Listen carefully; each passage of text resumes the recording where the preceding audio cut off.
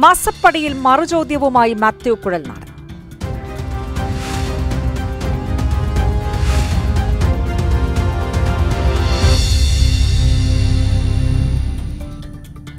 മുഖ്യമന്ത്രിയുടെ മകൾ ഉൾപ്പെട്ട മാസപ്പടി വിവാദത്തിൽ നമുക്കറിയാം Veena Vijayan G S T അടച്ചുവെന്ന ധനവകുപ്പിന്റെ വിശദീകരണം വന്നതോടുകൂടി തന്നെ Mathew Kuzhalnadan M L A മാപ്പ് പറയണമെന്ന ആവശ്യം വിവിധ കോണുകളിൽ ശക്തമാണ്.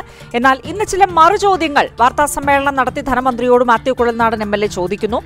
അതായത് രണ്ടായിരത്തി പതിനെട്ട് ജനുവരി ഒന്നിനാണ് Veena G S T registration എടുത്തിരിക്കുന്നത്. രണ്ടായിരത്തി പതിനേഴ് ജനുവരി ഒന്ന് മുതൽ വീണ വിജയൻ പണം കൈപ്പറ്റിയിട്ടുണ്ട്. സി എം ആർ എൽ കമ്പനിയുമായി കരാർ ഒപ്പിട്ടിട്ടുണ്ട്. ആ വഴിയാണ് പണം സ്വീകരിച്ചിരിക്കുന്നത്. അപ്പോൾ ഈ ജി എസ് ടി രജിസ്ട്രേഷൻ ഇല്ലാതെ വീണയ്ക്ക് മാത്രം നികുതി അടയ്ക്കാനാകുമോ എന്നുള്ള ഒരു പ്രധാന ചോദ്യമാണ് മാത്യു കുളിനാടൻ ഇന്ന് വാർത്താ സമ്മേളനം നടത്തി ഉന്നയിച്ചത്. മാത്യു കുളിനാടൻ തെറ്റിദ്ധരിപ്പിക്കുകയാണെന്ന് ധനമന്ത്രി അടക്കം സി നേതാക്കളും ഇന്ന് പ്രതികരിച്ചു. ഇന്നത്തെ ആ പ്രതികരണങ്ങളിലേക്ക് ആദ്യം വീണ വിജയന് ലീഗലി ലെജിറ്റിമേറ്റ് ആയിട്ട് ജി എസ് ടി അടയ്ക്കാൻ കഴിയുന്നത് ഈ പറയുന്ന പതിനേഴ് ഒന്ന് രണ്ടായിരത്തി പതിനെട്ടിന് ശേഷം മാത്രമാണ്. അങ്ങനെ ഇരിക്കെ അതിനു മുമ്പ് വാങ്ങിയ പണത്തിന് ഇവരെങ്ങനെ ജി എസ് ടി അടച്ചു എന്നാണ് പറയുന്നത്. ഇനി അച്ഛന് പ്രത്യേക ആക്ഷൻ കാണിക്കാനുള്ള വൈഭവം ഉള്ളതുപോലെ വീണ വിജയന് മാത്രമായി ജി എസ് ടി രജിസ്ട്രേഷൻ എടുക്കുന്നതിന് മുമ്പ് ജി എസ് ടി അടയ്ക്കാൻ കഴിയുമോ ഇല്ലയോ എന്നുള്ളത് ധനമന്ത്രി ഒന്ന് ക്ലാരിഫൈ ചെയ്താൽ നന്നായിരുന്നു. ഇവിടെ സംസ്ഥാനത്തിന് കിട്ടേണ്ട നികുതി എല്ലാം കിട്ടിയിട്ടുണ്ട് എന്ന് ടാക്സ് വകുപ്പ് പറഞ്ഞിട്ടുണ്ട്. നേരത്തെ ഈ ടാക്സ് അടച്ചോ എന്നുള്ളതായിരുന്നു. ടാക്സ് അടച്ചു. ചോദിച്ച് അദ്ദേഹം ചോദിച്ചതിനല്ലേ മറുപടി കൊടുക്കാൻ പറ്റൂ? വേറെന്തെങ്കിലും അദ്ദേഹത്തിന് ചോദിക്കാനുണ്ടെങ്കിൽ അദ്ദേഹം ചോദിക്കുക എന്നല്ലാതെ ചോദിച്ചതിന് മറുപടി കൊടുത്തു. അതിനകത്ത് ഈ കാര്യങ്ങളെല്ലാം കൊടുത്ത് ധനകാര്യ വകുപ്പ് വേണ്ടത്ര ചെയ്യുന്നില്ല എന്നൊക്കെ പറയുന്നത് ആളുകൾക്ക് മനസ്സിലാവും. അതുകൊണ്ട് അദ്ദേഹത്തിന് നികുതി കിട്ടിയോ എന്നുള്ള കാര്യം എനിക്ക് ആഗ്രഹം ഉണ്ടായിരുന്നു അറിയാൻ. നികുതി കിട്ടി എന്നറിഞ്ഞപ്പോൾ എനിക്ക് സന്തോഷമുണ്ട്.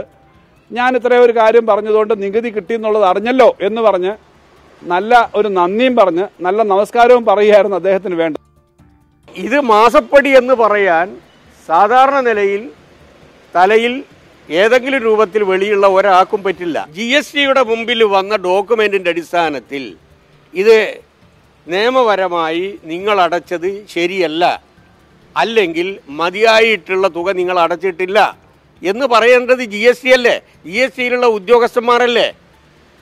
അവർക്കില്ലാത്തത് എന്താണ്? ഇയാൾക്കൊരു പ്രശ്നം. മാത്യു കത്ത് കിട്ടിയിട്ടില്ല എന്നാണ് പറയുന്നത്. മാത്യു കുടനാടനെ ബോധ്യപ്പെടുത്താൻ എന്ത് ബാധ്യതയാണ് വീണക്കുള്ളതെന്ന്?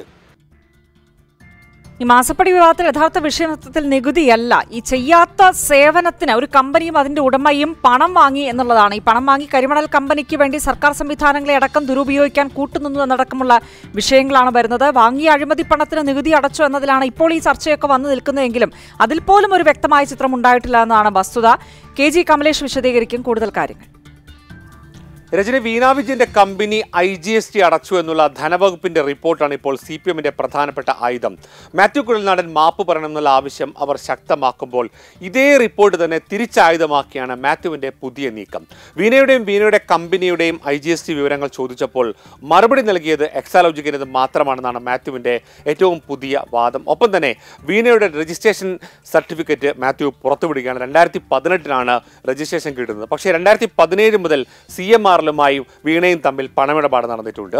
രജിസ്ട്രേഷന് മുമ്പ് കിട്ടിയ പണത്തിന് എവിടെ G S T service tax ആണെങ്കിൽ അതും ജി എസ് ടി രജിസ്ട്രേഷന്റെ തീയതിയിൽ മാറ്റം വരും എന്നുള്ള പുതിയ വാദം ഉയർത്തിക്കൊണ്ടാണ് വീണയ്ക്ക് കിട്ടിയത് സി എം ആറിൽ നിന്നും മാസപ്പടി മാത്രമാണ്. ചെയ്യാത്ത സേവനത്തിനാണെന്നുള്ള വാദം കുറെ കൂടി ശക്തമായി മാത്യു കുരുനാഥൻ ഉന്നയിക്കുന്നു. ഒപ്പം തന്നെ ധനമന്ത്രി മാപ്പ് പറയണം. കൃത്യമായ വിവരങ്ങൾ നൽകുന്നില്ല. വെറും ക്യാപ്സ്യൂൾ മാത്രമാണ് അന്വേഷണ റിപ്പോർട്ടെന്ന് മാത്യു പറയുമ്പോൾ ചോദിച്ചതിന് എല്ലാ ചോദ്യത്തിനും മറുപടി നൽകി കഴിഞ്ഞിരിക്കുന്നു. ഇനിയെങ്കിലും മാത്യു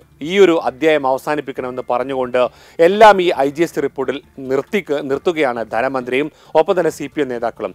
രണ്ടായിരത്തി പതിനെട്ടിന് മുമ്പുള്ള ടാക്സ് ആണെങ്കിൽ സർവീസ് ടാക്സിന്റെ വിശദാംശങ്ങൾ കേന്ദ്രത്തിന്റെ പക്കലാണെന്നും ധനമന്ത്രി പറയുന്നു. മാത്യുവിന് വേണമെങ്കിൽ കോടതിയിൽ പോകാമെന്ന് എ കെ ബാലൻ പറയുമ്പോൾ സി പി എം എല്ലാം മാസപ്പടിയുമായി ബന്ധപ്പെട്ട വിവാദങ്ങൾ ഐ ജി എസിൽ അവസാനിപ്പിക്കുമ്പോൾ മാത്യു അതിന് തയ്യാറാകുന്നില്ല. ഈ ഒരു പുതിയ പോരിന്റെ മാസപ്പടിയുടെ പുതിയ അധ്യായത്തിലും കോൺഗ്രസിന്റെ നിരയിൽ മുതിർന്ന നേതാക്കൾ ആരും തന്നെ ഈ വിഷയം ഏറ്റുപിടിക്കുന്നില്ല. മാത്യു അല്ലാതെ എന്നുള്ളതും എടുത്തു പറയേണ്ടതാണ്.